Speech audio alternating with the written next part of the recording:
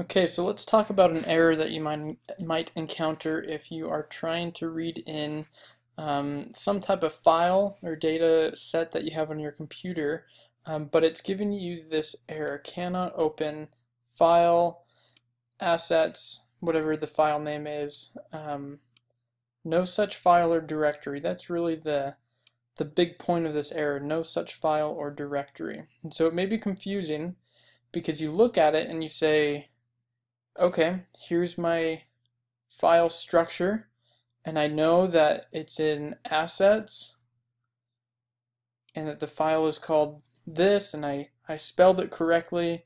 Um, everything should be working. But if you're still getting this error, one of the problems that you might be running into is that your working directory is not pointed to the right location.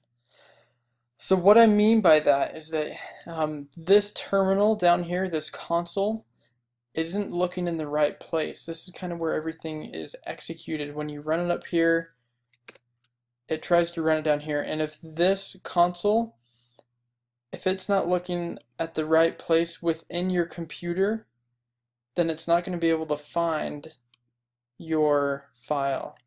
So for example, if you run this command, get a WD, open and close parentheses, says users. That's my current working directory. So if I back up here, I'm not even on here. Here it is, users. So it's sitting right here, and it's looking throughout this closest file structure from users and it's trying to match assets sample text file. And that's not actually where it is in relation to users. In relation to users, it is, you have to drill down a little bit further. Mine's in documents over here. It's in R foundation. So it's, it's a little distant from where your file actually is. So the way to fix that is that you're going to use this function called set working directory. And if I run it with nothing in it, then it's not going to do anything because you have to pass it the argument of where you want your directory to be looking, where you want this console to be looking. So in order to learn how to do that, let's go ahead and use the terminal. Let's bring it into the window here. So to, using this terminal, we're going to figure out what argument to pass set working directory so that the console's looking in the right place for this file right here. So right off the bat, um, I ran a command cd dot dot. That means I'm going to go back in a directory. If you run ls, that means list. List all of the files and folders of wherever you're looking right now. So I'm looking in home right now. If we pull this up, this is home, right? So this is really, this Finder folder is really just the graphical representation of this. So we are going to dive a little bit deeper and I know that my project is within documents so I'm going to say, let's go into Documents, LS again, and I know that my project is within R projects. So CD R projects.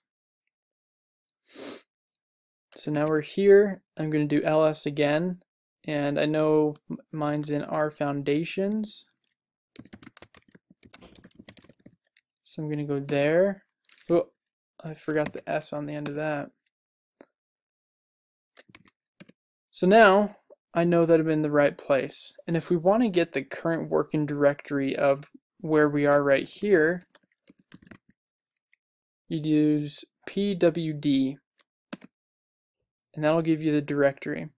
And so what you need to do, you come in here, copy this, and say set working directory, you got to put it in quotes, So you set that, and then we'll run that. And now we don't have an error, and we know that my txt data was correctly found. So I hope that makes sense.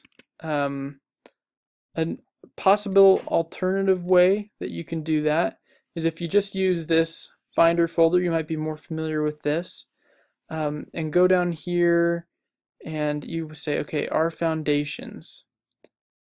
And let's say we want to get info, and it might have the directory in here, names and extensions. No. Okay, so it doesn't look like this might this might not be the best way to do it. It doesn't have the information that we're looking for. Maybe if you click on one of these files, and what I'm looking for is that directory that we found in the terminal, but it's not look, looking like we found it here. So the terminal right now is probably the best option uh, to do that. And yeah, so uh, good luck with that, and I hope this helps solve some problems.